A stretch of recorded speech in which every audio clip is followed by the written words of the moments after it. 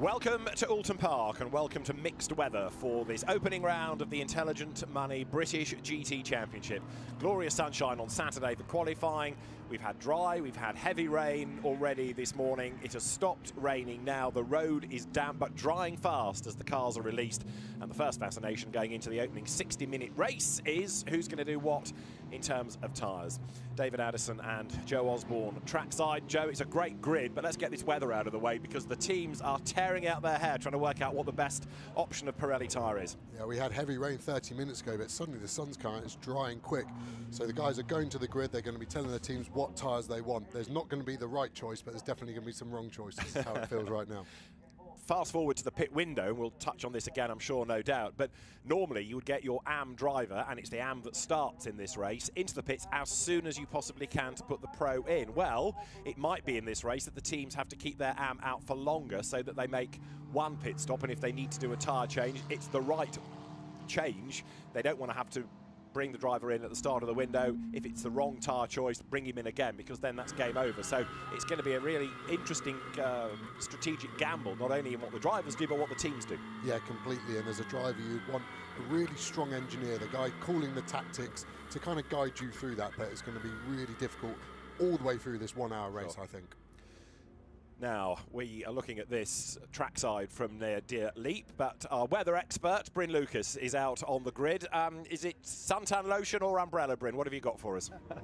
it's one of those weird ones, Adders, where you're not quite sure as well, even standing here. It's a very greasy track. I'm sure you can see that from your pictures. But, you know, the wind is blowing. I'm sure that's going to start to sort of dry out a fair bit. And looking around, I don't think anyone down here knows what to do with the tyres either at this stage. I know that you've been chatting tyres, and it's going to be quite tricky to see how this one evolves.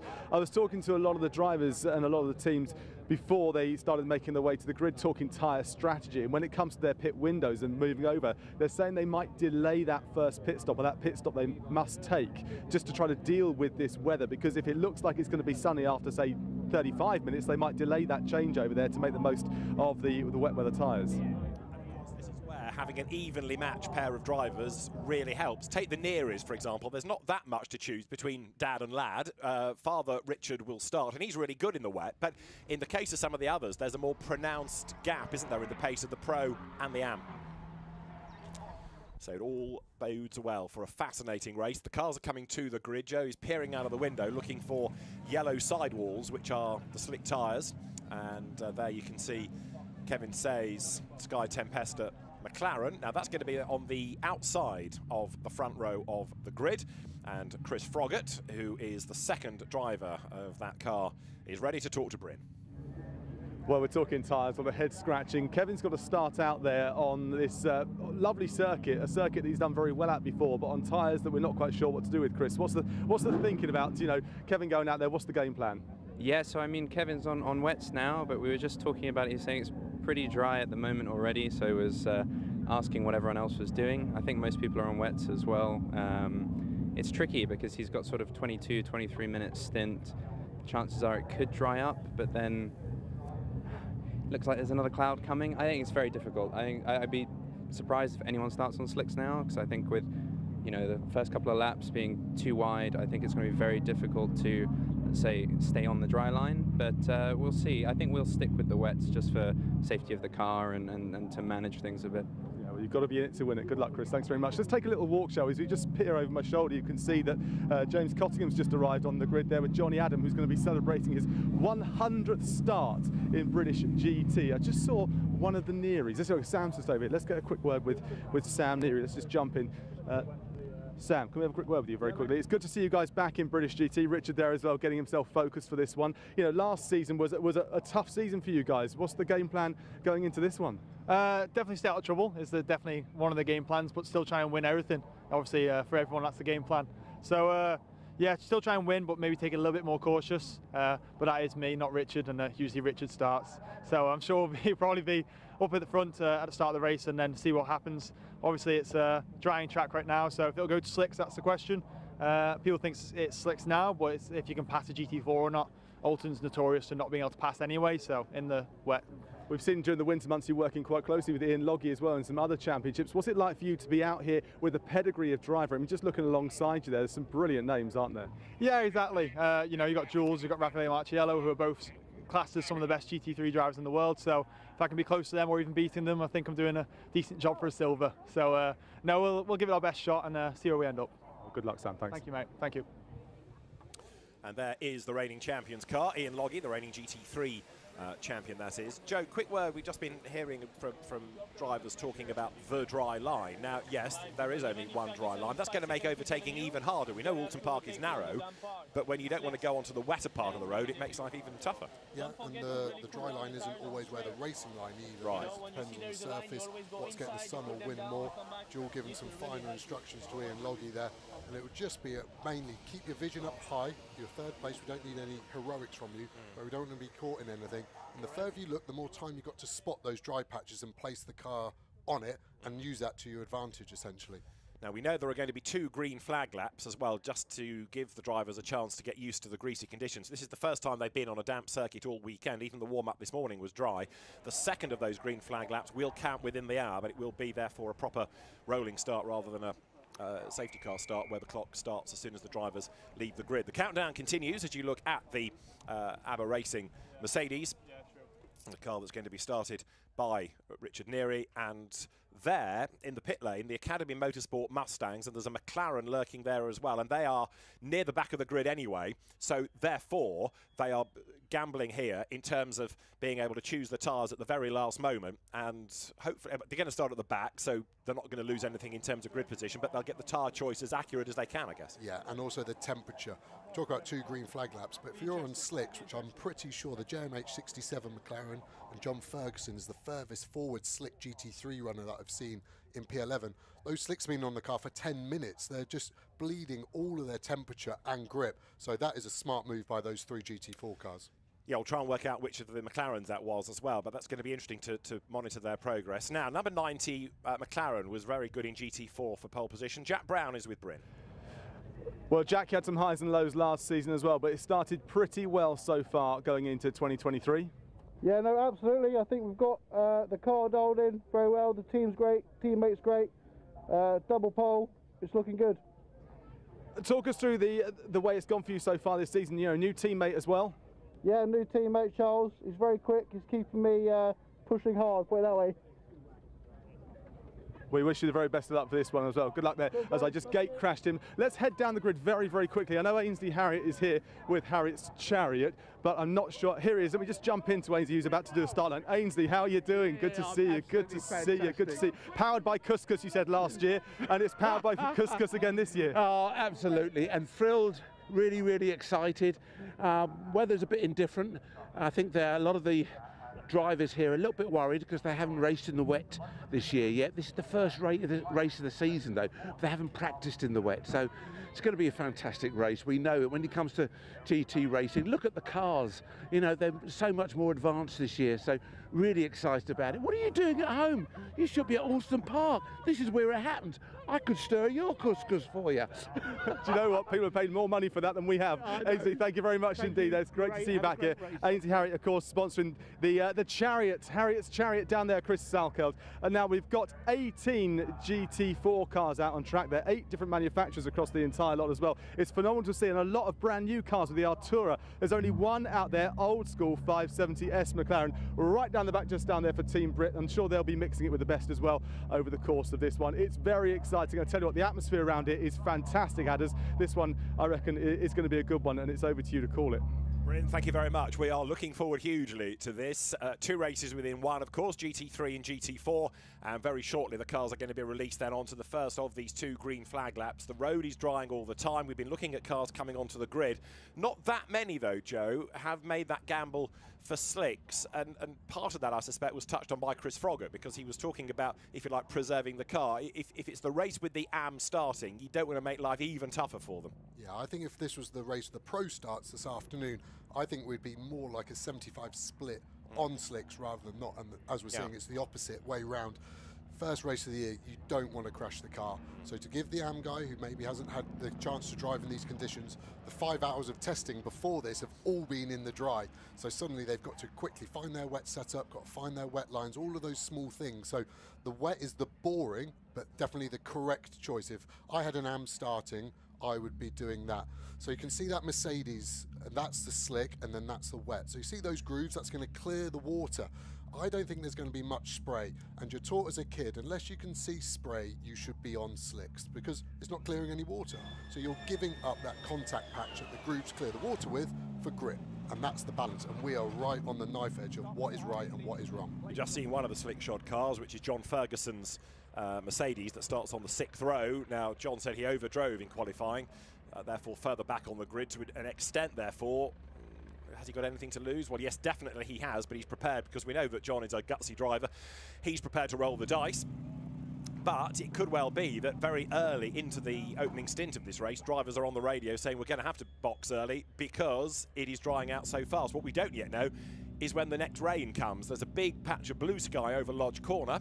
There's quite a bit of grey elsewhere, so it really is a huge finger in the air exercise this for the drivers as you look there at James Cottingham and Kevin Say who lock out the front row of the grid for this opening round of the Intelligent Money uh, British GT Championship which is about to get underway here from Oulton Park. 67 McLaren I can't find on the grid unless it's hidden itself away but the cars are about to be released then now uh, onto the first of these two green flag laps. It is there, it's hidden, so that car is good to go. That's fine, as the rest now accelerate away. We know we've got those three, however, starting from the pit lane out of GT4, which could be a shrewd move, not only in terms of the tyre choice, Joe, but also you're going to be behind rather than in any first lap dramas. Yeah, Old Hall, we've had quite a few incidents over the year. It's possible to go two by two through there. If you're the guy on the outside, you need a lot of respect from the guy on the inside, however, to make it round. So this is how they should have lined up. James Cottingham and Kevin Say on the front. We now know there are one or two gaps in the GT4 lineup, but that's the front row in GT3. Reigning champion Ian Loggie starts third. Richard Neary will be alongside him. And then to start fifth on the grid, Morgan Tilbrook ahead of Andrew Howard. Then on the fourth row, there's going to be Shaun Balfe lining up alongside Darren Leung, race winner at the end of last year, and very much one to watch. Alexander West and Mark Radcliffe, uh, both aboard McLarens, will be on the fifth row. John Ferguson is on row six. Mike Price switching from Porsches to Mercedes and British GT this year. He's going to be next in the Greystone GT entry. Then the Barwell Lamborghini of Mark Sanson and Lucky Khera switching to British GT this year as the cars come up through Britten's. He lines up ahead of Mark Smith and then Ian Campbell. More McLarens, which seem to be the Vogue car in GT3. Andre Borodin and Simon Orange round out the first nine rows, and that is the GT3 18 car entry. Jack Brown's on pole in GT4 with Aston Millar lining up alongside him. Then you've got Zac Meakin in the Porsche, run by Team Parker Racing, and Ian Goff, Formula Ford star of years past, in yet another of these new McLaren Arturas. Freddie Tomlinson's Ginetta. What else is alongside the Aston Martin R Racing of Josh Miller, starting 25th on the grid. Uh, would have been Matt Cowley, but we now know that that car is going to be in the pit lane. Uh, uh, Harry Nunn should be on the grid, however, uh, next to go. Then there's Michael Crees moving from touring cars and uh, Kavi Jundu, newcomer to GT Racing there on 28th rank on the grid. Joe Wheeler is next, and Will Moore's Mustang was another car. There it is, sitting in the pit lane. Still not looking as though it's in any hurry to get going. Sam Marlochnan and Michael Johnston will be next. 33rd on the grid is going to be Carl Cavers, moving from Porsche Cayman Sprint Challenge, and Aaron Morgan at Team Brit in one of the L570 McLarens is next ahead of Egg McDermott and uh, Ian Duggan to round out the 36 strong grid. Right, they come across the timing line. The clock now starts, so this is uh, within the race, as it were. This is uh, where the clock has started. So this warming up lap counts within the uh, 60 minutes as you see that queue of cars building at the end of the pit lane. Yeah, and we're seeing a few GT3s dive straight for the pit lane, and I think that's probably the clever move now. We're seeing yeah. how dry it is, especially at Britten's chicane. So seeing Optimum coming in there, coming in for six, and another McLaren looks like Lucky Khera, and I think that's a shrewd move. They're going to lose a lot of track position, but they should be able to catch and be on the back of the GT4s as the green light goes. So they won't be able to leave the pit lane as we see them queuing already The pit lane will go green on the exit when the last car has gone through turn one. But I think that's the move I would have done. You see how dry that is. The lap times for the AMS in qualifying was in the 34s. I think the first flying lap for the guys on the wets are going to be in the low 40s. And you tend to have a 10 second crossover. If you're within 10 seconds of your dry time on a wet, you should be on slicks. And I think we're going to see that by lap two. Interestingly, though, that number 62 Academy Mustang is still up on its jacks, suggesting there might be something more to that. However, uh, all is about to be revealed as we get set to go racing. 60 minutes mandatory pit stops. There are two separate pit windows here. The GT3 cars pit between 22 and 32 minutes. The GT4 cars between 28 and 38 minutes. They don't have central wheel nuts on those cars, so they have a longer pit stop time of 100 seconds, whereas it's 70 for the GT3 cars. Just so the latest safety car comes down towards his Hislops, then into Knickerbrook on an ever-drying road. Yeah, exactly. I was going to say, you can see under braking, it is yeah. perfectly dry. It's not even patchy. I say patchy, the other interesting bit of Oulton Park, there is almost an infinite amount of types of surface. So it's not like all the surface is the same, thus it dries at a different rate, and that's not factoring in shade, sun, wind. So that's why you'll start to see the patches. So I think all cars are now ready to go. That Mustang, interesting, has got the hottest slicks out of all of them. I think that's why they were waiting. It felt a bit racy, but I guess we're in, in a race. True enough, what we now need to make sure is that they don't end up going a lap down, whether this lap is going to have counted or whether it still counts as a green flag lap. However, uh, that will be resolved in a moment or two as you go on board now with Ian Loggie. So as they come out of Druids Corner, the field come down towards Lodge. So the cars come in towards Lodge Corner. The safety car is going to peel its way to the uh, left of the road. That's where it will uh, park should it be required. And so now it is up to James Cottingham and Kevin Say to control the pace on the run up towards the line.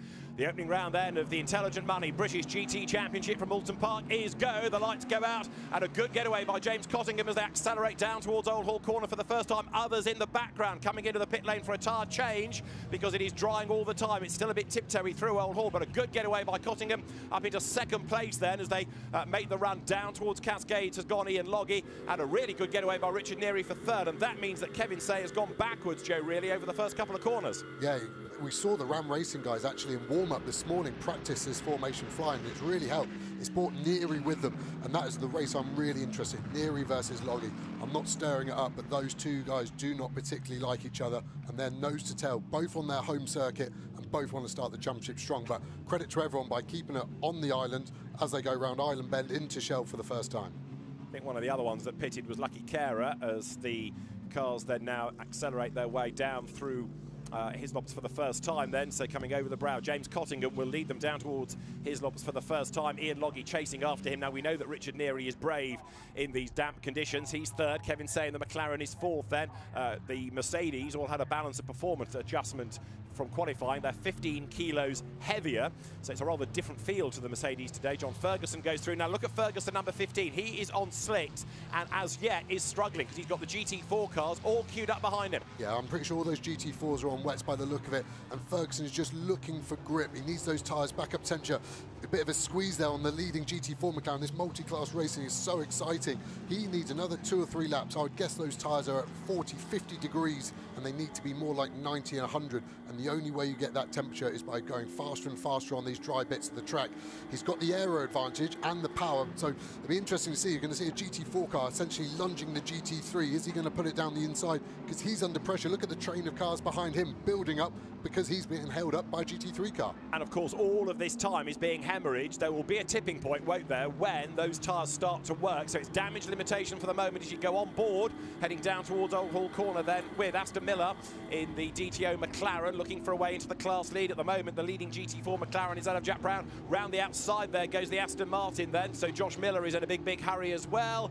They've all survived, but right now, John Ferguson is down in 13th place. Cottingham led at the end of that one by 1.6 seconds. There will be, in two or three laps' time, the pace in the tyres of that Mercedes for it to pull away. But for now, John Ferguson is hating every bit of this and strife already because there in the gravel is number 67 McLaren. That's Simon Orange that has dumped it, and I rather fear this could be an early interruption with a safety car because it's a bit stuck, that. Yeah, I think it is, and you saw the slick tyres not getting any grip on the gravel. Safety car called, so everyone's going to bunch up. Be a few people happy with that. I think the biggest winner is Ferguson. This is going to yeah. give him a chance to get those tyres up to championship, and then Jack Brown in that GT4 McLaren because it was awkward for him. He couldn't do anything, but he was getting pushed back into the guys behind him. Can I just throw something else at you to do with tyre temperature, which is something that stemmed from a touring car race and a, a, something a driver once said to me, which is that although you might think it now helps because you know the road will be drying as they're under the safety car like this, because you're going so slowly, you're not actually getting the temperature into the slick. So is it a bit sort of self-defeating? It's not as good as running flat out, of course, but the ability now to work the, the brakes are the big thing. You've got these huge, huge, huge brakes on the car that are happy to run at six, seven hundred degrees, and they then radiate the heat into the rim, into the wheel. So as long as he's really working those brakes, Ferguson, this is, they will get up to a better temperature than they are currently now, even flat out in these mixed conditions, and he can then get going.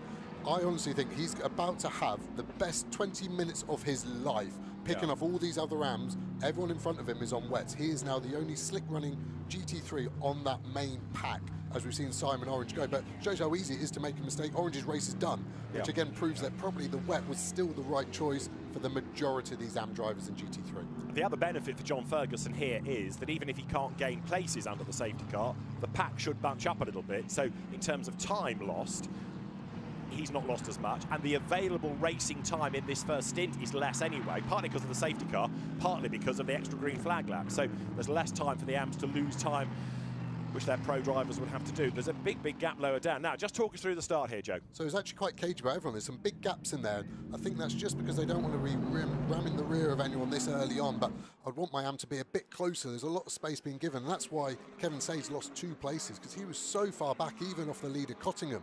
And that's free time. You see the GT4 is always a bit more strung out. So this is on board with Say. He needs to be looking to his right more, looking at Cottingham, not at the lights. Look at that. He's already lost two and a half, three car lengths. You can see Loggie already passed.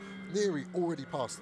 That start, he needs to be more eyes on, more aggressive. It looks like he's conceded way too early. He's almost sort of happy to slot in and want that inside line. He didn't want the risky outside line that I alluded to earlier. And that was James Cottingham down through Cascades. Ian Loggie making good progress, and Richard Neary uh, likewise from the second row of the grid, also gaining ground. There, John Ferguson at the back of the GT3 pack being caught by the GT4s. Yeah, it's really difficult. You see uh, Simon Orange there tiptoeing around, and I would assume he's just lost it under braking into Lodge, rears locked, and that's why it's rotated him into the gravel trap. So GT4 pitting for slick tyres. So these guys have got to try and get it done before they go a lap down. Exactly. The safety car, it's a very fast car. It's Lotus Evora. It's already at Druids. I don't think that Aston Martin is going to get out. So he's going to go a lap down. I think that's the wrong call. I think you've got to stay out until the pit window and do the tyre change as your mandatory pit stop. So they come now down towards Lodge Corner. Of course, the, the GT4 teams have slower pit stops anyway without that central uh, looking wheel nut. So we know they're always going to lose more time. But yes, it's not, I fear, going to have been the right call because the safety car is coming through Lodge Corner, as also is the retrieved McLaren.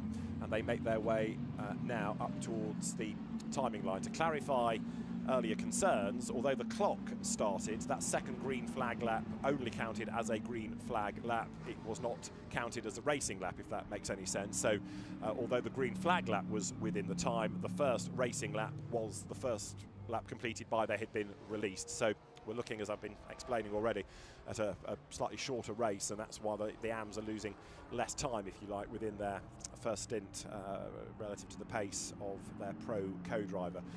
The longer we can keep them all bunched up like this, the better stint two is always going to be. Um, but the road now looking so, so dry.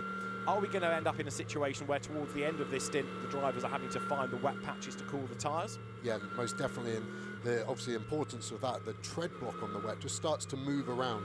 And the more it moves around, it generates its own heat, not even in the surface, but in the core. And extreme, extreme examples, you actually get these chunks ripping off the tyre because they just can't hold on to the carcass anymore. Round here, the front right takes a real pounding for a lot of the long, fast corners. So the drivers will be trying to take out some of the steering lock, not to push through the understeer. The teams will be reminding them of this, maybe even a bit higher on the traction control so they don't get any wheel spin, higher on the ABS so they don't lock anything. It's going to be really difficult. They've got about, it's going to be about 10 minutes, isn't it, until the pit window opens for the GT3 when they go back to green. So six or seven laps, it's a lot to ask on a very, very dry track. But it's the only option. That's what's quite interesting about it. The drivers will be on the radio moaning to the team, I need to be on slicks. and the team might just unplug the radio and leave them to it and plug back in when they want them to box for the pit window because there is nothing they can do. The drivers are helpless. This is all on them now. Right, so there, sad to say, is that R Racing Aston. It was fourth in GT4, but is now a retirement in the paddock in the team's area. And so for uh, normally one of the quick combinations, Josh Miller and Seb Hopkins, that car out of the race. Right, on board with Ian Loggie then, the reigning champion, the 2 Seas Mercedes running in the 1997 FIA GT Mercedes livery from the CLKs. It's inspired by that colour scheme. We've got other retro liveries uh, on the grid as the lights go out on top of the safety car, meaning that we are back racing this time. Lorna Vickers, Formula Ford racer, the safety car driver, brings it down towards Lodge Corner. And on a greasy circuit, we are about to have the cars released once more. Then James Cottingham accelerates now up through Deer Leap. Does he? He bunches them up a little bit, lets the safety car go, floors the throttle and accelerates up towards the line, trying to gain another length over Ian Loggie. But now they've got to, of course, remember the tyre temperature will be slightly different from when they were last at uh, racing pace because they've had those couple of laps behind the safety car. The GT3 field then pours through and drama in the background. We've got a Ginetta which has got damaged. The bonnet flies. Now, what triggered all that? There must have been a bit of bunching up, I would guess, into the last corner just as the safety car was coming in and I assume they've rear-ended someone and broken the pins on the front. I'm a bit worried about how much debris that is on yeah. the track. It could lead to another safety car straight away. The good thing with the safety car is obviously a huge space of track now because all the cars together. If there's a marshal that's much, much braver than me, they might venture onto the track and try and yank that Ginetta bonnet out of the way on instruction from Peter Daly, the race director. So James Cottingham then leads the way, and Ian Loggie dropping back. There is a brave marshal, and there he is, scooping up what's left of the bodywork of Joe Wheeler's uh, it was. So Joe Wheeler son of uh, the late Peter Wheeler, the TVR owner. He was at the wheel of that car. Right, Cottingham has checked out, hasn't he, on this lap? He has really been able to convert uh, the advantage behind the safety car into a good gap with the race lead. Now, remember, of course, James Cottingham, uh, historic specialist. Those cars slide around a little bit, so perhaps that helps him in these conditions. Definitely, it will feel like an historic car. I remember first driving a historic car after doing modern stuff. I'm like, this is out of control. this is how it's going to feel. Looking at Kevin Say's onboard there on his dash, I can see his tyre pressures. Garage 59 has done an amazing job and started them so low. They've still got quite a lot of headroom that they can go up before he loses performance. I saw 1.5 bar, and they can go anything up to 1.9, even two in these conditions before he's going to lose pace. And I think that's why he looks so racy. I think his car's going to really come to him in these next five or six laps before they can pit. I think he wants to get on the front foot and try and get back to where he should have been after the start. Right, leaders come through. Cottingham is ahead of Loggie there, but it's game on for third. Richard Neary dropping back into the clutches of Kevin Say. Winner here back in 2020. He's getting more and more confident now. Is the Macanese driver. He's quick through Old Hall Corner. You're riding with him. And now lining up to have a go at the green Team Abba Racing Mercedes in third place down towards Cascades. The trouble is, though, Joe, he's going to have to go offline to make the pass. Offline means greasy, means damp, means difficult. And you add to that, look at the rear camera. You can see the radar lights flashing. He's got someone right on his back, and it's Andrew Howard, probably another guy that you wouldn't want hustling you around here. This battle pack is going to be interesting. His best chance is into the second chicane, Knickerbrook. So we're going to run through Shell here can't really overtake here. It's too narrow. First chicane is too narrow and the braking point is too curved. There's no way to get a car down. So what he needs to do here is open the corner up. So by that, I mean round the left part here open it up and concentrate on a good exit. Go, get on the gas. You've got to try and get a run all the way down. It looks like he's got a couple of K on him. You've got to brave it out. Stay right. He's already gone to the outside, so this is a hard move now. He's got the overlap, but he's got to go all the way around the outside of Richard Neary, and I haven't got enough money to pay to want to be there, and he decides the same. Still got a chance for a cut back here. He needs to hold him over. Don't let Neary cut your nose off. Back in, get it in, over the curb, go, full gas. That Merc's got some good traction as well, but we do have a run. What's Neary doing in the middle of the road? Clever guy, blocks the path. We've lost our momentum. That's another lap done where our next overtaking opportunity really is into the last corner. But that is good, fair, hard racing. Oh, you heard Kevin say have a lift there because there was just no room for him, but he's going to have a go, is he? Coming down towards Lodge Corner. Yes, yes, yes! Kevin Say lines it up. Full send down the inside. This is brave stuff. Richard Neary breaks even later, though. Even braver. Can he make the corner? He's gone in deep. Kevin Say fights back. Behind them, there's another car all over the grass. And Kevin Say will be ahead as they make the run over the timing line because the McLaren got the better run. He's got the job done. And here comes Andrew Howard. He's going to get past one. He's going to try to get past two. Fantastic move by Andrew Howard. Absolutely brilliant stuff. Two places gained down towards Old Hall Corner. That is absolutely extraordinary. Hat tip to Andrew Howard. Brilliant move. Mr. Whippy put a flake in it. Who says you can't overtake round Oulton Park? That was genuinely one of the best overtakes I've ever seen. I thought he was going to just follow safe through and be happy yeah. with a move on Neary, but on the front foot, and he went for it. So clean, so much respect from our AM drivers. I don't want to talk them down as AMs, but this isn't their job. They are doing this for fun. They want to win, but that was incredible as we see the GT4 uh, Mercedes there just stuck in the gravel. Can he get out? He needs to be super smooth on the throttle, and he's got a chance of just getting yeah. a bit of traction. Go on. Hopefully the left-hand wheel is just on. Marshall doing a great job there, pushing that one out. almost, almost, almost. So we had, as we'd seen, other McLarens bouncing all over the grass. I think Morgan Tilbrook was the one uh, that bounced wide, so he has dropped back. But this car ain't for shifting as we go now with rain falling on board with 93 Kevin Tse. The wiper is on and it's looking a bit wetter on that windscreen. There are spots of rain falling on our window here. So suddenly those that have been on the slick tyres are going to be at another disadvantage and John Ferguson will want to come in as early as he can. Yeah, we're just on the crossover period, aren't we, of lap time. Ferguson last lap 46.7, fastest lap uh, Cottingham 44.6, so still two seconds off. Ferguson's more in the mid-pack, got double wave yellow, so have to slow down, obviously, for that Mercedes still stranded there. Just got going. Oh, amazing, clear, that's good timing. It's, so yellow should post, go. Really, yeah. yeah. And yeah, as you said, the rain is falling, so now it shifts from it definitely being slicks to going, well, the driver's about to get in, what tyres do you want? Andrew Howard is the hero, though, isn't he? He's now done a personal best lap. He's done a 45-0, seven tenths quicker than Ian Loggie, the Aston, revelling in these conditions. And look at Andrew Howard go. Good exit from Old Hall Corner. He's going to be level with Loggie. Is he not quite going into Denton's? Ian Loggie having to make that a very wide Mercedes. But Andrew Howard, then, the uh, ice cream magnate, Beechdean Ice Cream is his company. A big flash of the lights. He and Ross Gunn share this car. And he looks for a way up past Ian Loggie. Can't do it on the way down towards Island Bend. All of this is enabling the leader, James Cottingham, to get away, of course. Yeah, and Howard's last lap that you alluded to, that was while overtaking two cars into turn That's one. Right, yes. So that Aston has got pace to burn, and you can see that from this rear onboard video as we go now looking at it from the rear. It has got serious traction, getting held up by that GT4 Merc, getting pushed out. It cut across the front of Howard. That was unfortunate for Andrew. Look how much time that loses, and that will be the theme of British GT this year. GT4s, GT3s, the mix. Where do they split the pack? Look at that. That's got to be one and a half, two seconds lost. Kevin Tse lost the same amount as well, so they've got to get back to it. Move on. Forget about it. Get get back on the pace. And be patient, not let that get under your skin. Okay, I've lost out to a back marker, but the chances are that my rival will lose out to a back marker, so over the course of a stint, it should just about balance. I see your logic, it never works out Never like works, that. You okay, always feel like you're the one that's always got done over the hardest by all of them, but yeah, it will do. Look at Cottingham's Yeah. lead, as we said, really stretching out. The rain again just starts to slow down a bit. Maybe that was just a little one just to scare the teams in what they're going to do. But these guys can pit in the next three and a half minutes. The lap times they're at, it's going to be actually really tight whether they can pit at the end of the following lap. Not the one they're coming on to, sorry, the one after that. Let's watch this, this Aston. I want to see where the BOP's at, what the difference is, what the strengths of the car. Andrew Howard flashing his headlight in vain. I love when drivers do it, but it's so annoying to watch in the mirror. But it feels great when you're in the car, in all fairness. I can see what he's doing. So front end look at the car, gets it in tucked in, and off he goes. But despite the time lost in traffic, they're nose to tail again now. It was four tenths over the line. As you say, the Aston with pace to burn. He's shaken off Kevin Tse once more, so it is when, not if, Howard gets past Loggie. The spots of rain over here have just about disappeared, so as you say, been teasing the teams. But Cottingham, four seconds to the good. He is making hay while the sun isn't shining, so to speak, here. He's benefiting from the squabbling behind. Yeah, and I alluded to the BOP, but Cottingham's proving the Merc BOP isn't weak. Even after the 15 kilo uh, weight increase after qualifying, they're still going well. So super slow-mo through the first chicane. We've got the Ginetta GT4 going stage left for him there. He's going to miss those barriers, but look at the grass, the rear end kicking up.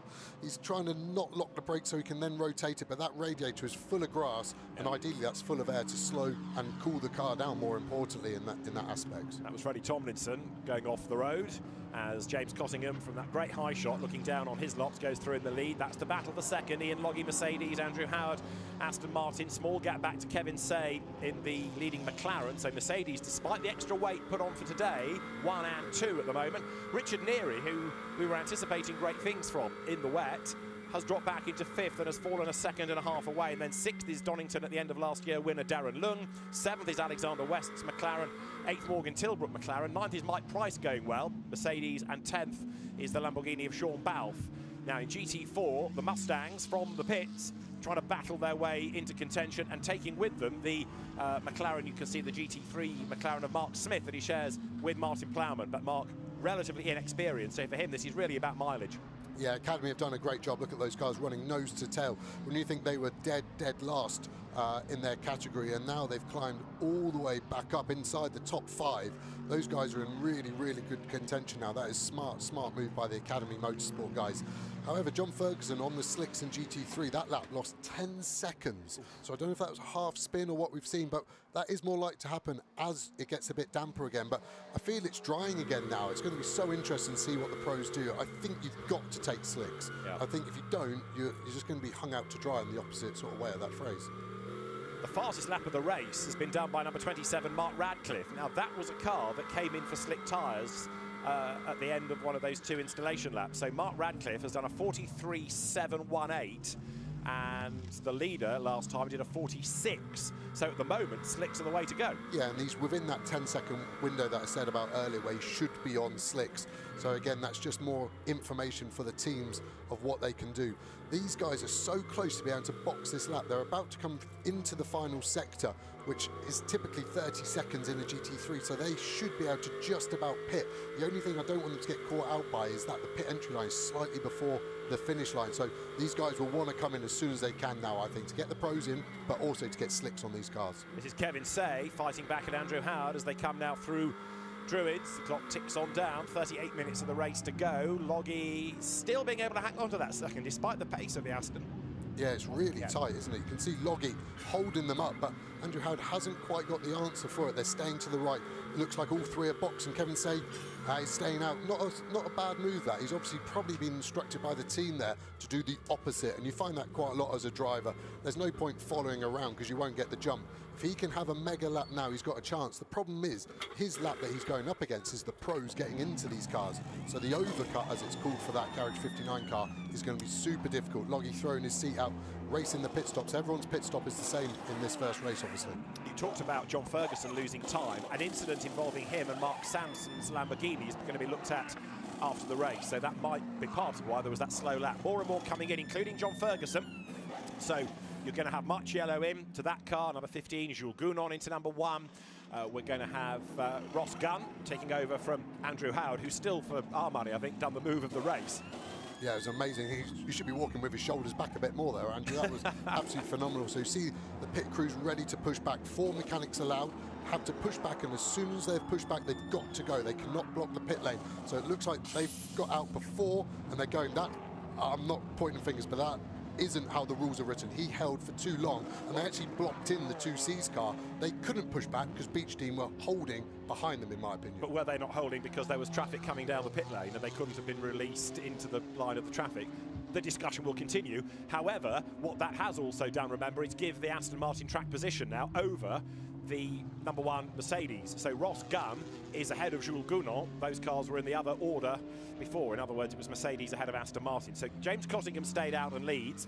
Kevin Tse stayed out and he's up into second. That's Dan Harper in the BMW. Uh, he's just taken over from Darren Leung, who did the first stint.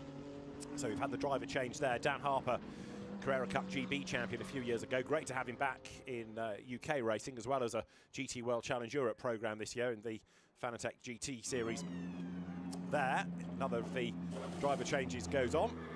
That is then now James Cottingham in and Kevin Tse is in as well. So Jonny Adam takes over number four. Rather cruelly, that team had been put next to Aston Martin just to confuse Jonny, just to taunt him. Uh, Kevin Tse replaced by Chris Froggatt and Richard Neary will give way to son Sam. Alexander West is in to give way to Marvin Kirchhofer. Mike Price for Callum MacLeod. So now just about everybody from GT3 bails for the pits. See the driver change. Both quite calm, getting the belts on. The ones that go around your waist are allowed bungee, so they ping out of place. Okay. The centre one you pick up and put between your legs, and then the shoulder ones are laid over. So he's just getting that adjusted, bit of a tighten. You can see the top ones, his shoulder straps still a bit loose. He'll give them a tug going down pit lane just to make sure he's happy with them, and he, he's going to get pushed back anytime soon. As we see Jonny Adam joining, and importantly for Jonny, he's in a good bit of space there. He shouldn't be between these GT4 cars. Maybe that Optimum car's just going to get him. But these guys need to get up to speed. If I'm going to play my little violin for the pros, they've got some tricky conditions to hit the ground running with. It's not easy getting in the middle of the race and getting on it, but in these conditions, there's a lot of time to be lost, but also a lot of time to be gained. See, Jonny Adams still got the lead over Ross Gunn in that Aston Martin. So it looks like that is pretty much status quo. But we've lost a bit of time to, to Goon on there, and Harper's all over the back of him. Yeah, that BMW is going nicely in these conditions. You'd have anticipated Jules Gounon, with all due deference to Dan Harper, uh, to be very, very quick indeed. Well, he's about to jump ahead of Chris Froggatt, isn't he, as they make this run now along Lakeside Straight. Mercedes to the inside, and Jules Gounon dives through, gains the place. And now, perhaps as he gets more confident on these uh, tyres in the Mercedes, he is able to push, but Chris Froggatt then loses the spot and loses another to Dan Harper. So the Sky Tempesta McLaren, two places back already. And again, I think that shows how much time Ram lost in the pit stop, not being able to push back for whatever reason. You're you being right or me being right, one of those. And because they got a whole gap behind that Sky Tempesta car, and that was Jules Gounon's outlap versus Kevin Tse's inlap, and you would put a bit more money on Jules being able to get that pace there. But it's going to be interesting to see what Harper does here. He's got over 30 minutes remaining. Looks like he's got the slight pace advantage at the moment. I think he should strike while the iron is hot. He's on the back of Gounon. In case Gounon's car gets better as the stint goes on, yeah. you want track position. Where's he going to do it? The BMW looks so strong in this mid and high speed cornering. We saw some great moves getting lined up into this next corner lodge. Is he going to be able to get a run on? And that's the hard thing. These GT3 cars do produce a lot of downforce, and thus when you're behind, you get in this dirty air and you just lose a little bit there. They both get down to the inside. Optimum GT4 car staying out of their way nicely. Not too much time lost, but still probably half a second. It all starts to add up depending on how lucky you are with the traffic You can see the cars really coming alive, can't you now? They didn't exactly look slow before, but now the uh, braking is later, they're dancing around more, Jules Gounon goes through. Now, because the GT4 pit window is yet to open, and therefore those cars are staying out, they are the on-the-road leaders. It's the two Mustangs that started in the pits that actually lead the race outright. It's a phony lead, of course, because you can see Jonny Adam is behind them, and he's about to go through, plus they've got a pit stop anyway, but it's just one of the quirks of the race with these two staggered pit windows. Yeah, if I was Matt Nicoll-Jones, the teammate of Will Moore in the 62 car, and the team owner of it, I'd be taking a screenshot of that. That's amazing. So that was actually technically a, a change for the race lead there as Jonny Adam came through. But again, it really illustrates how important strategy can be in these difficult conditions. Now, Jules Gounon has done the fastest lap of the race. So he's done a 37.3 he is the lap record holder in totally dry conditions. Fastest lap. Uh, so now you've got Jonny Adam there in the yellow Mercedes in the lead of the race. Second look is Will Moore. Third is Matt Cowley, the two Mustangs together. And then fourth, the Aston Martin of Ross Gunn make that third. And he's about to make that second round the outside, heading up towards the water tower. No footbridge at Clay Hill. It all looks a bit different this weekend as now Ross Gunn dives to the inside and it's game on for the lead now between Jonny Adams Mercedes, still takes some getting used to that, and the Aston Martin of Ross Gunn behind him. And then look, Jules Gounon with his elbows out, carving his way through the traffic. He's got Dan Harper behind him, Mustangs in front, Mercedes to the left of him, through Lodge, absolutely nose to tail. Fantastic fight for third place, and these two are catching the leaders. Uh, Harper's got a bit of a run here. Gounon did a good job at blocking him on the inside, so he couldn't get the run. But Harper looks racy, doesn't he? You can see the car darting left to right, just trying to get in the mirror of Gounon, just to catch his eye, just at the wrong time. Gounon's got far too much experience for that, but when there's GT4 cars around, the, the, the stress levels are high for these guys, even though they're the best in the world, as we're saying, it is still, still so difficult. I think, I think Ross Gunn has got a lot of pace here. I think yeah. saw it with Andrew Howard when he started the car.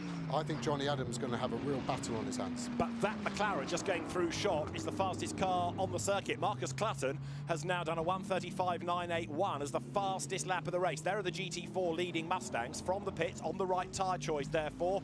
And this is Harper versus Gounon. Jules is having to be very, very defensive here because Dan Harper is a man on a mission, isn't he? Yeah, and I've heard great things about Dan. I've yet to race against him. Let's see how clean he is, because I think the frustration levels are going to go. And by clean, I mean, I think one of the best opportunities is going to be to get real close under braking and maybe just give him a little nudge. Just bleed out the brake, let the car run into the back of the one in front, which sometimes just gives it a bit of a slide, stops that driver getting on the throttle when he wanted to, and then you can get the go. Depends how dirty you want to go. Round one of a championship, maybe a bit too punchy to pull out those moves that early on. Yeah, Dan Harper, Carrera Cup GB champion a few seasons back, and it was on the, the back of that that uh, BMW picked him up, put him into the junior program. Now he's a fully fledged BMW factory driver, and he is giving Mercedes factory driver Jules Gounon a tough time. Never before has the British GT Championship, or you like, GT World Challenge Great Britain, given the quality of the entry, had such a star-studded cast. Lead gap, 1.6 seconds. Adam to Gunn. Ross Gunn now does the fastest lap at a 135.6, so he is fractionally faster than the leader. The gap is coming down. Third is Jules Gounon, who's a bit busy defending from Dan Harper. Marcus Clutton is in the background fifth, as there is the GT4 pole sitting McLaren number 90 in. And now, of course, the floodgates open in GT4. More and more of them come for the pits. Driver change, yes, possibly tyre change in some cases as well.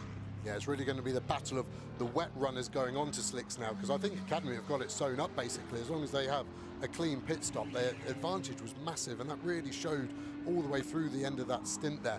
Ross Gunn took a second out of Jonny Adam on that last lap. I think Jonny Adam's going to start getting a bit of PTSD here, seeing that Aston Martin. It's going to be like seeing an X in a bar just looming in your mirrors, getting larger and larger. And he's going to have to really get his elbows out. Ross Gunn is almost like the new Jonny Adam, I think. Jonny has done so much for Aston Martin over the years. Ross Gunn now really coming through their ranks, really respected internally, I know, at ProDrive. I think this is going to get very spicy. I think we've got like three big battle packs forming. I think we've just gone halfway through and I think I've just taken my first breath as you look at this.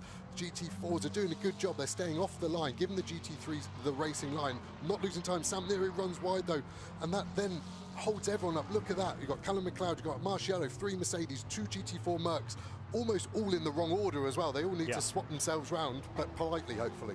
Marciello is only 12, but he won't stay there. And they're going wide is Sam Neary. He's off the road. This might not end well. He toboggans across the grass. Across the grass, misses everybody. He's in the gravel. If he's got the momentum, he might be able to dig himself out the other side, but a spin means that he won't be able to. And that, I fear, is going to be a safety car, which will throw things completely out of the window. That was some move, though, that didn't pay off. He got edged towards the grass, didn't he? But how he missed everybody. Yeah, I had to mute oh. my mic there to stop myself saying what I wanted to there. It just looked like he wanted to get round that Mustang that he just lost the place back to in the middle of Knickerbrook. And it was a bit desperate. Two wheels on the wet grass was never going to end well. Marciello, I think we've got to give a lot of credit to. That would have been in his blind spot of his A pillar, but he knew something wasn't right, and you could see him back up into. Druids to allow this space for Neary to fly across the track. And it looked like Neary was a little unlucky, and it looked like the front just dug into the gravel and then hooked him in. It's going to be difficult to get that car away without another safety car is my fear slash I'm actually really happy about it because it's going to bunch all these guys up and it's going to give us a really one. Safety car is deployed. So this is interesting. This is going to be hard for the Mustang guys who've just pitted. This potentially is going to really hurt it. We see a bit of splitter damage down that front corner. Yes, race cars are low, but that looks way too low. The tyre is okay. What they're going to do, you can see it's missing that track rod on the other side, that silver bar. That is now missing. So they've got to try and do something. Tape and cable ties, that's your best choice. Did that come with the Mercedes of the Nearys because it was those Mustangs that he was trying to go around the outside. It wouldn't have taken much to touch to do the damage, would it? There is the safety car again. Uh, so our second visit of the Lotus safety car out on track. And this is partly to retrieve the Nearys Mercedes. It's also so that Joe and I can go and take a breath because that has been a frenetic race thus far. 26 and three quarter minutes of it to go. So all of those gaps disappear now. Yep, exactly. The only thing that does get added in is the GT4 element. Yeah. So from the GT4 perspective, it actually can be hugely frustrating because if you've been overtaken by the GT3 leader, you effectively lose a lap because yeah. you're stuck in that train but it will make it interesting. A restart's so hard when you've got a GT4 in front of you when you're in the GT3 because you want to get close to him over the line, but you've got so much more speed. You almost need to hang back and time it so you're passing them as you go across the line. And again, you'll see the top GT3 drivers doing that. The Mustang has been sent out, so they're obviously happy with the splitter. Sometimes you get unlucky and the scrutineer spots it and won't let you rejoin if they deem it too dangerous. They've had a big jump in front of the 62 car though, so I'm a bit worried for that car potential issue there. Um, and again, these guys have been lucky. I think the pit exit light probably could be red, or should be red, should I say, because the safety car is out and the pack is there. But you take take the luck when you can.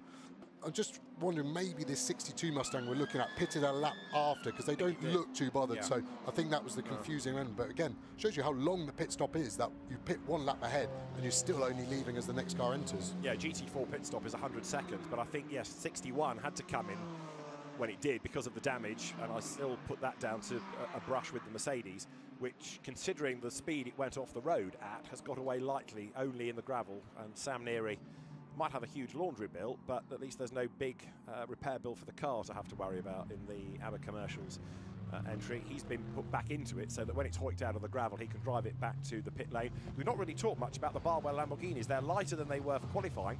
Sandy Mitchell's car, number 78, going through. He's taken that over from Shaun Balfe, and uh, 62 is about to rejoin. It's now got Patron, Matt Nicoll-Jones at the wheel of it, who is the uh, brains behind Academy Motorsport. Very accomplished racer himself, and he will take that car into the second stint of the race, which has now got 24 and a half minutes, just a shade over, still to go. Yeah, and, and I've raced against Matt for many a year. He is one of the most aggressive guys. I've been hit by him more times than I care to remember. And it Shouldn't always, have reversed into it. yeah, that's what you said to me as well. But I'm pretty sure I was the one in front. But uh, yeah, this is going to get real interesting, real fast. Who do I think is in a good position? I think we saw the speed of Gunn. I think we saw the speed of Harper. We saw the speed of Clutton.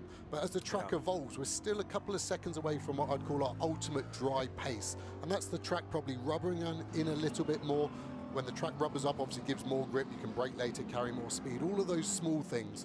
But we're really starting to see who's got the pace when it comes to the race stuff. Now, Jonny Adam has got one back marker between himself and Ross Gunn. In other words, he's got a, a tiny cushion, hasn't he, on the restart because he can try and get away whilst Ross Gunn sorts out the back marker, and you can only do that overtaking once you've crossed the timing line. Yeah, the, the technique he should probably do is as soon as the safety car turns his lights off, he can then have whatever gap he wants to that safety car. Yeah. While the lights are on, he has to be within five lengths. But as soon as the lights go off, he should slow the pack right down to the minimum, 40 Ks, get that gap, and then go early. Because if he goes early, that GT4 can't stay with him, Yeah. but Gunn has to stay behind him. Exactly. If Adam does this right, which I know he will, I'm setting him up here, he's going to be eight seconds ahead over the line. That's my uh, prediction. Replay time. Okay, so this is what happened to uh, Sam Neary. So he comes through his lops, runs out wide there, gets crossed up. That's what puts him back behind Mustang 62.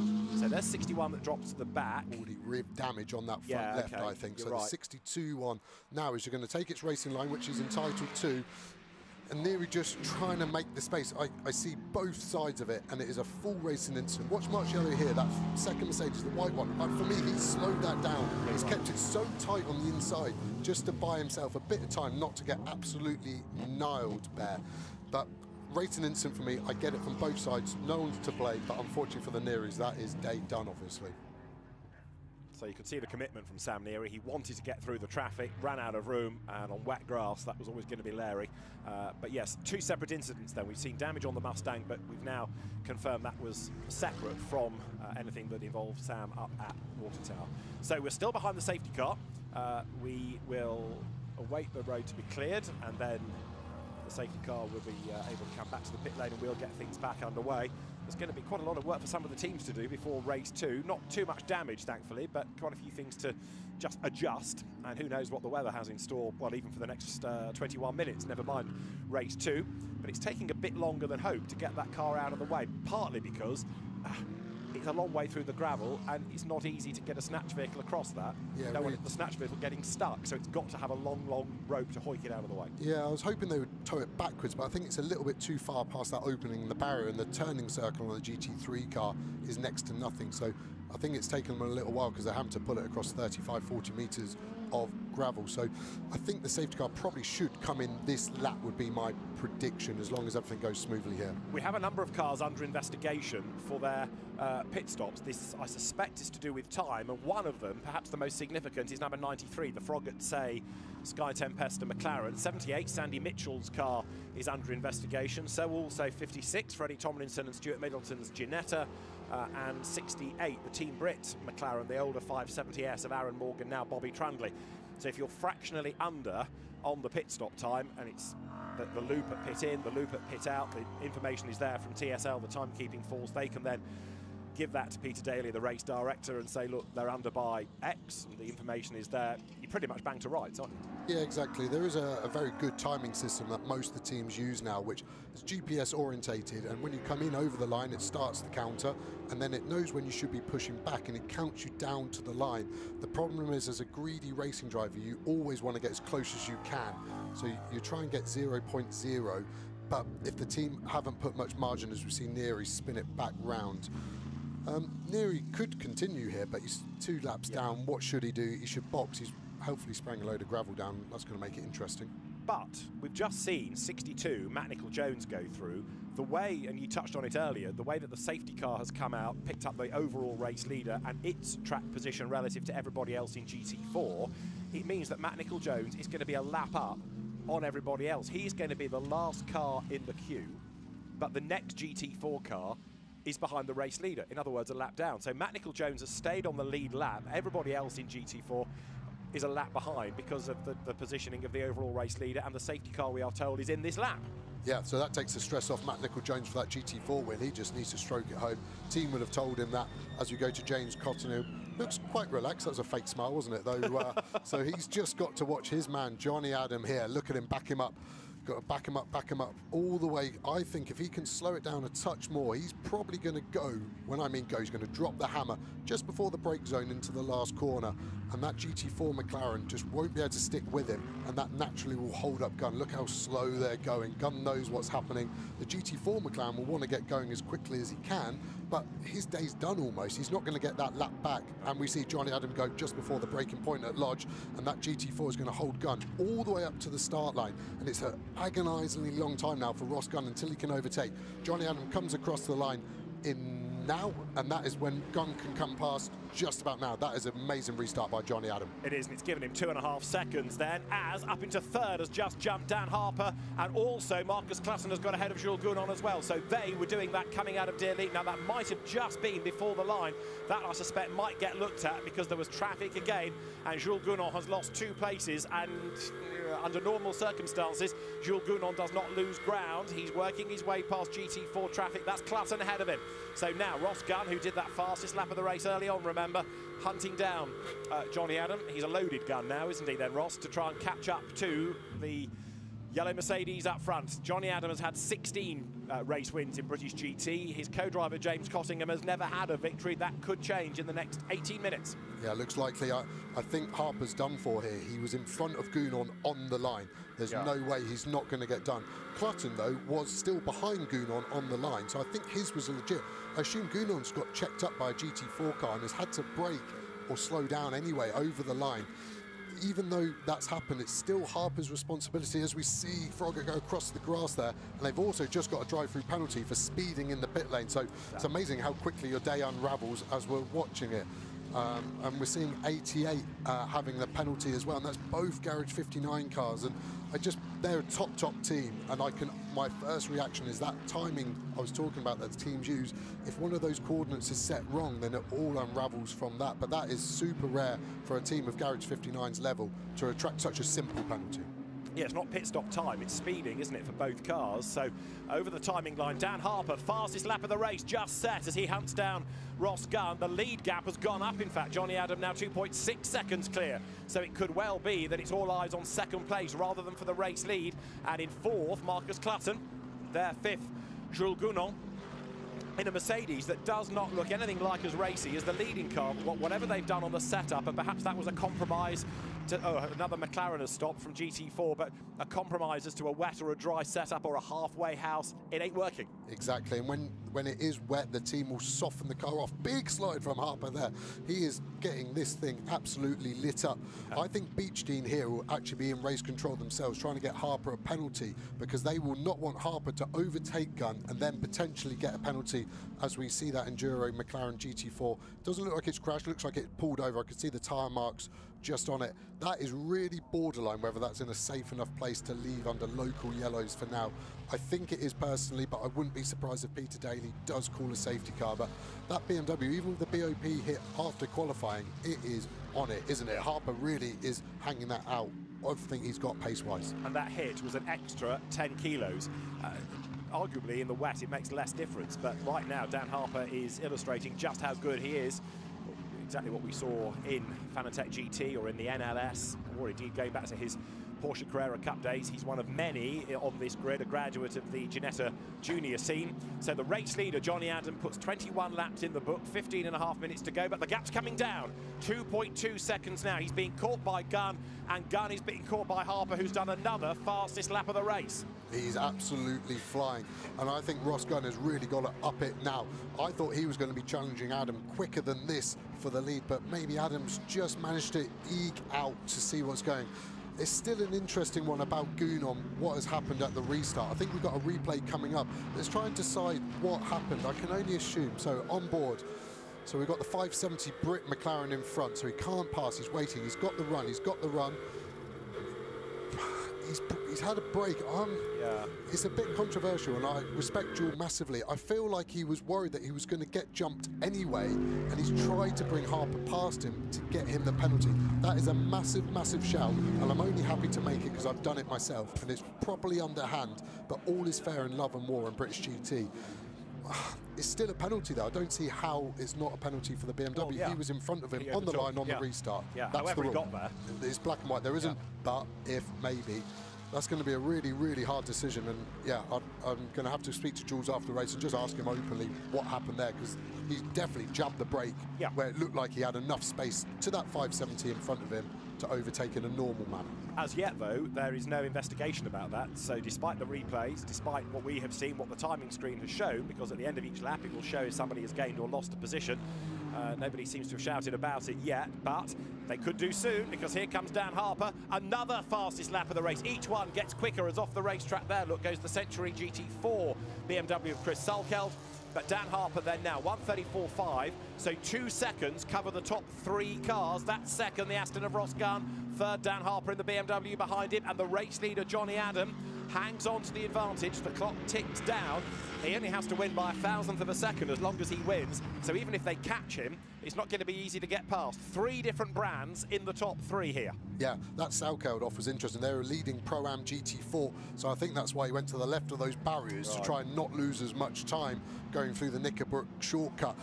This is also going to be interesting. I think they're just going to catch the GT4s at the end of the race. So obviously the safety car bunched them all back up, so they've had these three laps, so we've all been relaxed and enjoying life. But I think it's going to get real spicy. With my really poor math, we're going to have a lap and a half of GT4s intermingling with these GT3s. And again, they're in the wrong order, right? Harper's got the best pace, Gunn second, and then Adam is getting caught. So I love it when they're the wrong way round because all of those drivers want to prove why they should be the one at the front of that pack. cruel, really, you? Uh, Jonny Adam then into Druids, and you can see how that gap is coming down. Ross Gunn, absolute best in the first sector, and quicker than all of them in the second sector has been Dan Harper. Good battle going on in GT4 here because number 18 Porsche, uh, Dan Vaughan, the 2020 champion when he was a TF Sport Aston driver, coming under attack. Number 90 McLaren, the pole car, 19th overall, and is currently what third in GT4. Comes down now into Hislop's. So actually, it's a, a Academy Motorsport 1-2, isn't it? Both the Mustangs there are first and second after starting from the pits and getting the tyre choice right and pitting at the right time. Yeah, we kind of thought that might be the case of 1-2. The 62 got the whole lap advantage as we see that Mercedes and GT4 McLaren super tight coming up the hill. He's getting held up. That Merc is a lap down, so technically should be kind of helping to get out of the way. Relatively big damage on that splitter that we said about. Huge slide there. Oh, that made me nervous with that McLaren Marks. Just parked on the side, sorry. There's no yellow now, so technically they don't need to slow down. There's a caution point, but that is it. Safety car restart, car 91 under investigation. That is Dan Harper. So that's what we've been banging on about. It has now come up. It's under investigation. And also being looked at is the Simon Orange, now Michael O'Brien uh, McLaren. But the significant one is the car that's in third place. And when things are under investigation like that, there's normally only one outcome. Yeah, you're guilty. And I've got a real smug feeling. I feel like I've dobbed him in. I can see why everyone did it to me at school now. I feel like really uh, warm inside, but super unfortunate. I, I really sympathise with Harper. I actually don't think he did a huge amount wrong there. Like I said, Gounon slowed it down, Harper probably couldn't react. Slash, maybe if Clutton was on his rear, maybe didn't even want to brake to cause an incident in that fashion. So it is super, super unlucky. And let's just see what the penalty is. Ross Gunn should be informed by Beechdean and his team that there's a penalty probably looming for that BMW. So the drive-through has been confirmed. So that's going to drop them down about 18 seconds. So on my quick math, he's going to probably just be inside the top 10. So Jules Gounon gets one of those two lost places back. The fact that though another car jumped him, not only the BMW, makes me think that it wasn't a deliberate check-up. It was more of a, of a oh, that was a bit close as the, as the GT4 car was in the way type of check-up. But we'll go and ask him post-race. So what that now gives us in real terms is Jonny Adam one second ahead of Ross Gunn. So uh, as an Aston Martin driver, think of Le Mans. Jonny was uh, a star at doing the fighting and catching and then winning. Here he's going to have to defend because Ross Gunn is closing, closing with 10 minutes to go of what has been, as we expected, a fantastic start to the season. We've had everything. Been absolutely action-packed across both classes as well. We go on board with the GT4 McLaren of DTO. Josh Rowledge into the last corner can see we've got a great battle in front. That is that Optimum car in front that started. So it's always interesting to see the same car as you. Where's their strength? Because that's purely on setup. Optimum Motorsport, that car in front, have really got on top of that car. And to be a second clear in qualifying was obviously evidence of that. But at the moment, he's being held up by that Mercedes and can't get to the second place Mustang. He's kind of got a rear gunner working for him there. If we go down the hill into Cascades, really cambered here. Look through the corner, look where that Mustang is. Gives you an idea of how cambered that corner is. Release the lock, and off we go again. Looks like DTO just haven't quite got the rear end grip by that. We're just a little slow to get on the throttle and on all of the exits, we're just losing a little bit to those cars in front. Again, it could just be that they went more of a wet setup, a bit softer on that rear, it's inducing a bit of understeer. There's an infinite amount of excuses as there's a load of grass on the inside there. Drivers starting to cut the corner more and more. Drivers are such cheats, aren't they? Wherever they can get away with a track limit, they'll use it, and it feels like that one isn't being maybe policed as the other through the first chicane using so much curb. Back in my day, I feel like an old man. We used to have a tyre stack there. They used to stop us doing that. I used to move it back a bit after hitting it a bit, but we're seeing the windscreen wipers back on yeah. as well. I wonder if we're going to get a bit spicy here. And a stop and go penalty for number 36. That is now uh, Josh Rowledge, and that is for stopping outside of the window, we understand. So the DTO uh, squad, the DTO Motorsport that runs that Artura, are going to have to have a stop go. And indeed, the rain is coming again. You saw the wipers on. So they're all on slicks. The rain is coming. Eight and a half minutes to go. You couldn't make this up, could you? This is a typical British bank holiday. Miserable weather and the team's hating every minute of it. We've been given 24-hour race distance weather in the first 40 minutes of it. It's that is really heavy. Wet, yeah. And we've seen in the past years of Oulton Park, this is where the rain hits first and it will sweep across the track. These guys are going to have to really, really yeah. start earning their money in the next eight minutes. Dan Harper hasn't yet taken his drive through either, so he's still running in a phony third as Jonny Adam hangs on in there, so he'll have to check his pace. Now, of course, he'll be on the radio potentially saying to the team, well, we should be stopping the race now, you know, it's, it's dangerous, but race control's argument would be you have the option to drive within the speed of the conditions. You have the option to change tyres if you think you need. So it's down to the teams for the moment to make the right call, but it's going to get slower in terms of lap time. Here comes the drive through then for Dan Harper. In he comes, down the pit lane he comes. Did well to get it stopped there. Just how slippy it was under braking for the yeah. pit lane. It's really coming down quickly. A drive through also, Joe, for Ross Gunn. Wow. So I, again, I'm going to be that smug guy that dobs everyone in. I think that's from the pit stop potentially, pushing back and holding Maybe. and blocking the 2 Seas cars in. So suddenly Jules Gounon, sorry, has lost those two places, but has just been given essentially them back, and it's going to get him back on the podium. This has been a fast and frenetic race. Ross Gunn has only got three laps to serve this penalty, and the happiest man in the whole of Cheshire will be Jonny Adam as he yeah. sees that Aston go into pit lane. Here's the GT4s that I knew we were going to catch at an awkward point, and they've proven that to be the case. Well, Beechdean are asking why they've got the drive-through, because it's not been confirmed to them yet. So right now, Ross Gunn, until he's told otherwise, will push, push, push and he's got three laps. And I think the weather going, what car would I want to be in? And at the moment, I'd want to be in one of these Mercedes. Why? Front engine, so you get a real good feel of the front axle, the grip, the weight that's linked with that engine placement, but also no turbo, so the linear power delivery of that big V8 is so smooth. The turbo cars have a similar power, similar torque, but the way it's delivered as the turbo spools up just naturally makes it a little bit snappier. Yes, you've got traction control, but again, it just makes it harder to work. And Jonny Adam naturally is so smooth anyway. Uh, Clutton behind him now essentially on the road has got a lot of work to do. Gounon there as well. And then really Gounon's got a huge gap behind him, 11 seconds to another Mercedes of Callum MacLeod. So it surprisingly has opened up quite quickly, but this rain is coming down hard. Uh, I would put some good money on a safety car being having to be called, sorry, in the next lap and a half. It was a typing error oh, for 97. So there was no penalty, so uh, panic over. Uh, so correction, it says on the screen, 97, no penalty. Whoever the penalty was for, it's not 97. So these things can happen, but that's given Beechdean uh, a few palpitations. But of course, it's a good job that they queried it because had they just called the car in, uh, it would have cost them the race. So it's one of those instances where human error, I'm afraid, could have spelled disaster for a team. Thankfully, it hasn't. But uh, Phew, much mopping of brow. What it also gives us is the continuation of the lead battle. We have got five minutes and seven tenths of a second. And it's getting tight, isn't it? We saw them both get held up by GT4s. See the Ginetta in front of Jonny Adam. He's probably going to catch that right on the exit of this first chicane. So it's going to be hard for him not to get balked, and that's going to bring Ross Gunn right on the rear bumper. is going to be really difficult. And then there's another car, I just missed which GT4 it was, coming over the hill, another McLaren. And again, that's going to be right in the brake zone of here. And then they're held behind it. Ross Gunn is on the attack, isn't he? Look at Clutton as well, taking chunks out of them, being slightly lucky with traffic, potentially around the outside is a long way. Don't do that.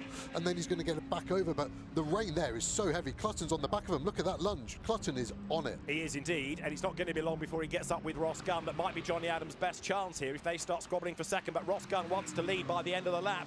He is pushing, pushing, pushing Jonny Adam down on a damp circuit. Goes through on the inside of the McLaren. But Ross Gunn's car looking the quicker. But Clutton could yet win this race. He's right there in third place. Down they come under the vehicle bridge.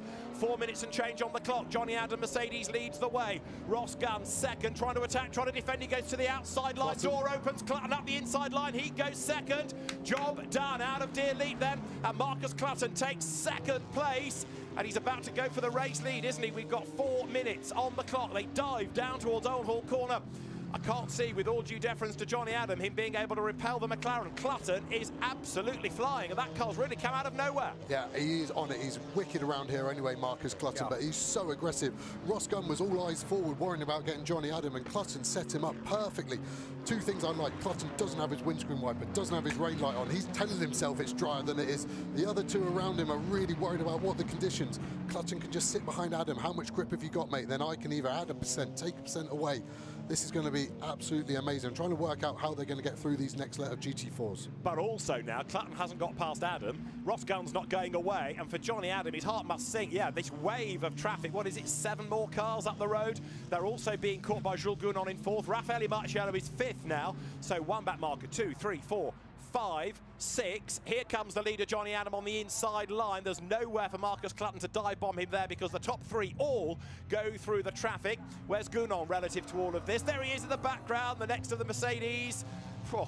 It is very, very tight as far as the race lead is concerned. It's three for the lead right now. Jonny Adam picks his way past the Team Parker Racing Porsche heading up Clay Hill. This is lap 29. We've got two and three quarter minutes to go. And yes, they're on it, but Jonny Adams' last lap was 10 seconds slower than his best lap. Shows you conditions, traffic, having to defend. There's a huge amount of factors going on here. Jonny Adam, coolest man in the paddock, but he will be feeling the heat. Look at Clutton tucked up. You could barely see him. He was that tight. Another GT4 McLaren going back to the racing line. Clutton's going to be compromised a little bit there. Jonny Adam can breathe. Can Jonny Adam get past both of those cars in front of him before turn one? Two laps to go. We've got enough time for two more laps. They come over the line. So Jonny Adam goes through. He wants a back marker between himself and the opposition turning into Old Hall Corner, which is what he gets now. Back wags, but Jonny Adam could just try to edge away ever so slightly. Marshall's busy with the blue flags. Marcus Clutton's McLaren is second. It dives to the inside line. One more lap to run at the end of this. Third look is the Aston of Ross Gunn. That's now been compromised. Where is Jules Gounon? One back marker, two back markers, three because Gounon is out wide. He there trying to go round the outside in the traffic has just made a tiny mistake, found a wetter part of the road and cost himself some time. Amazing. Clutton got a little unlucky, didn't he, with the traffic there? And that's, whoa, huge slide. Look at the rain. It's coming in from this end of the track. These guys have got to get their eyes up, got to realise uh, Callum MacLeod off in the gravel. Can we finish this lap, please, without a safety car? I know we've got one more, but I think that's going to have to be a safety car. Clutton's got the pace as well. This is so slippy. You can see the tyre marks now being left, and that's the water being pushed under the slick tyre. They are so slow. They're tiptoeing around this Oulton Park circuit. If the race were to finish under a safety car, the order would be the order. If it were to be red flagged, it would go back a lap, which would preserve Jonny Adams' lead, wouldn't it? So that's potentially now what he would quite like, given the car off the road. He's good into Hislop's. Has he got away by another length or so? He has. And I reckon that Gunn is coming back at Clutton. The two of them together as they are so, so patient with the throttle there. Just hover your right foot over a pedal and hope something happens. So they've got to be so careful. But look, Jonny Adam has got away through that really treacherous part of Hislop's and Knickerbrook. And it's a bigger gap coming into Druids. There is time for one more lap. as a very nervous Morgan Tilbrook you just saw there who can barely watch. His car is in second place. Now, yes, they all want to win, but surely there's an element of bank some points. There is another race to go later on in the day. Maybe the heroics could come then. And if anything, Ross Gunn is coming back at Marcus Clutton, isn't it? Yes, you were right earlier on about how brave and how heroic Clutton was. but he can't maintain that pace now. He's going to be lucky with a lap to go to hang on to second. Here comes Gunn. Yeah, I think that, oh, he's got a huge run on him down the inside. Exactly the same move as Andrew Howard, only one car, Ross Gunn, so you need to work a bit harder. But that McLaren, look at it squirm. It's way too stiff for these conditions. Yellow flag for Callum MacLeod's car in the gravel. Look like camera swung around. I don't know if it's happened at turn one there. Car running wide. Yeah, the Brown's optimum, car. no, those guys were doing so well. It's going to be really difficult for him to rejoin as well, as there's a lot of cars coming through. Mirrors in as well, so it's made a bit of contact at the barrier, I'd say. Charles Clark at the wheel of it. Right, that's your race leader, Jonny Adam. He was a second and a half ahead starting this lap as he goes for a 17th GT3 win in the British Championship. And that man, James Cottingham, is on for his first in the championship. But for second, it's Ross Gunn ahead of Clutton, who fights back on the inside line. Aston Martin versus McLaren on the outside grippier line. It pays out for Ross Gunn. And now it is absolutely horrible. Everybody on this part of the circuit now wetter than a mermaid's flannel because it is absolutely teeming down. And Gounon's back with them. Gounon's got it, I think. He's got so much pace. You see how much he's caught up in that last lap. Took two and a half seconds out of Clutton. And again, it's gone back to a little bit dry. You actually saw some spray at that first chicane. Morgan Tilbrook's just going, I'm glad I started the race Well, and I'm not yeah. out now, I think. But look at Gunn, he's brought the gap down to Jonny Adam then. So Jonny, the race leader, with all of those years of experience, all of those titles under his belt, Jules Gounon, rally style, flinging the car through Hislop's. They're all on slicks, remember, and the road is very definitely not conducive to dry weather tyres. For the race lead, two corners to go. Ross Gunn quicker than Jonny Adam, but is he going to be a hero in the last corner or is he going to bank the points for the team? Let's see. There's one more corner, there's one more chance to send it up the inside. Ross Gunn has not given up yet. Goes to the inside, goes to the outside. He's almost level with the Mercedes on the outside line, but he can't get the car slowed down in time. They're both deep into the corner. Jonny Adam runs wide. Where is Clutton? He's not there yet. He arrives on the scene now, but not in time to prevent Jonny Adam from taking the race win. It's going to be the Mercedes that wins. Jonny Adam wins at Oulton Park. Second over the line is Ross Gunn. Four tenths between the Marcus Clutton third, and he was 29 thousandths ahead of Jules Gounon. What a last corner, what a race, and a first British GT Championship win for James Cottingham.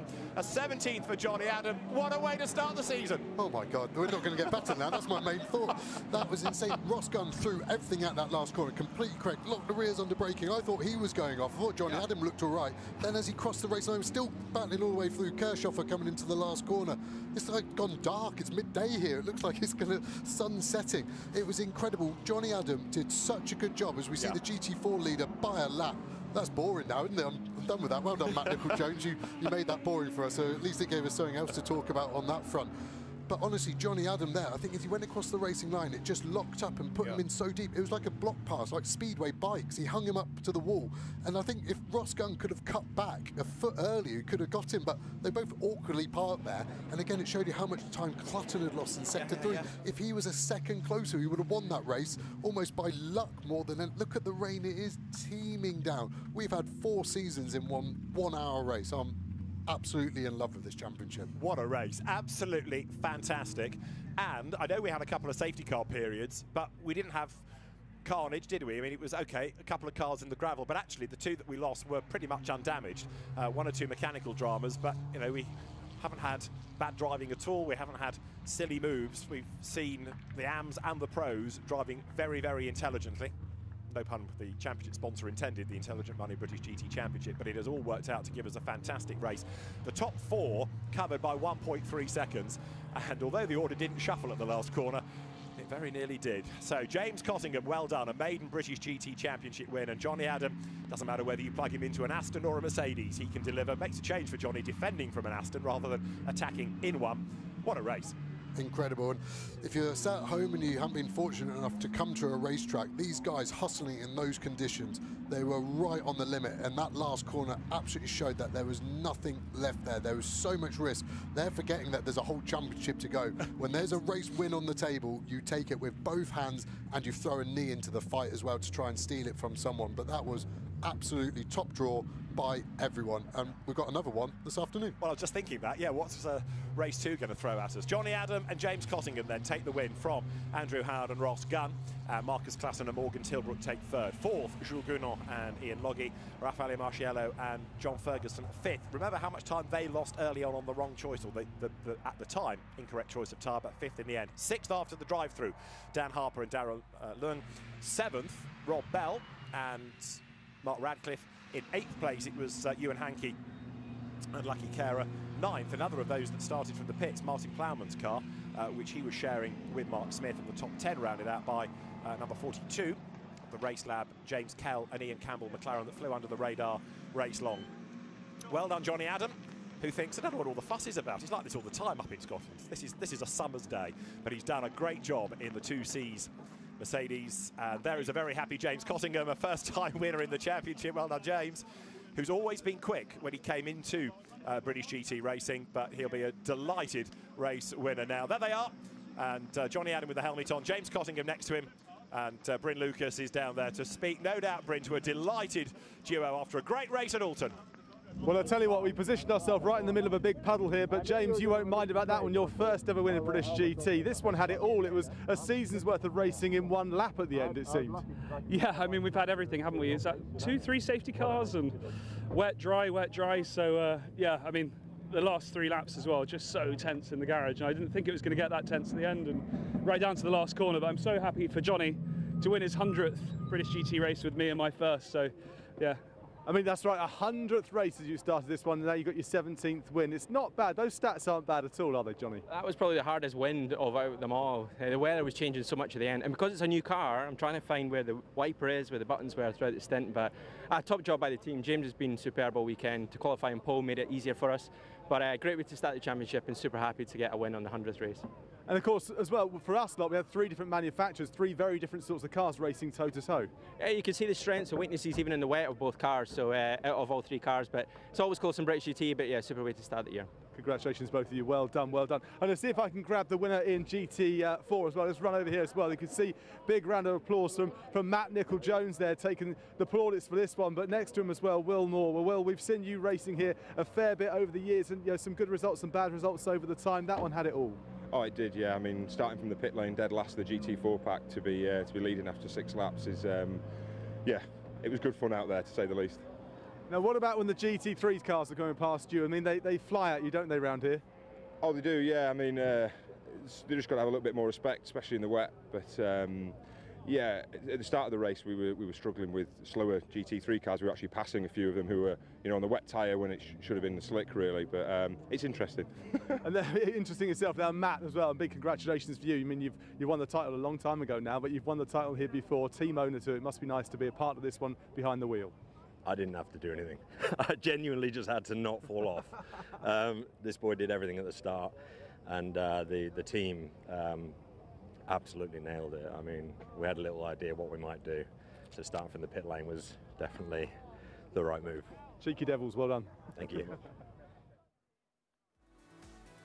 Let's have a look at the results then of the opening round of the Intelligent Money British GT Championship. Well done, Jonny Adam in his 100th race, a 17th win, and James Cottingham takes a maiden victory in the championship. Ross Gunn and Andrew Howard second, four tenths of a second back, ahead of Morgan Tilbrook and Marcus Clutton. Ian Loggie fourth with Jules Gounon, ahead of John Ferguson and Raffaele Marciello. Then Dan Harper and Darren Leung with Mark Radcliffe and Rob Bell seventh. Eighth, Euan Hankey and Lucky Khera.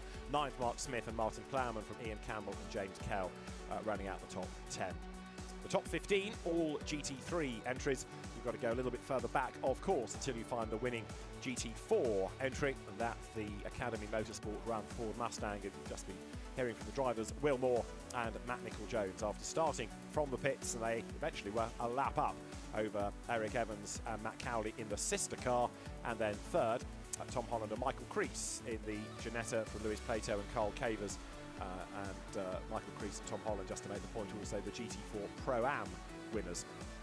In the end, Dan Vaughan and Zac Meakin's Porsche fell down the order somewhat, uh, and others, of course, that had penalties of various descriptions, whether they were drive-through or stop-go, dropping down the order as well. One or two cars still being retrieved around the circuit. The teams will be hard at work ready for the second Intelligent Money British GT race of the day at Oulton Park. That is due to start at 10 minutes to 4, barring any other dramas in support races on a now rather treacherous track once again. But a superb way to kickstart the season. Great racing, and uh, there's more to come, as I say, in just a few hours' time here.